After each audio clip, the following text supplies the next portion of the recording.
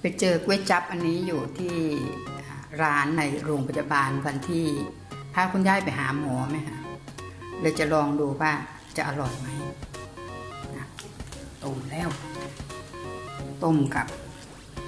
หมูค่ะ เส้นก็น่ากินสามชั้น ของโปรดของคุณครูค่ะ แล้วมันจะมี ระเทียมเจียวให้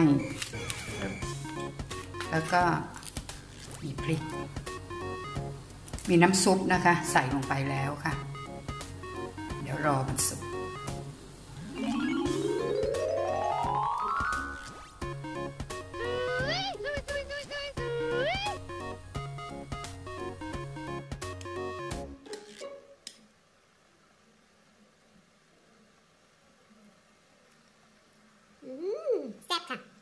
อนเฟิร์มเลย อร่อยค่ะ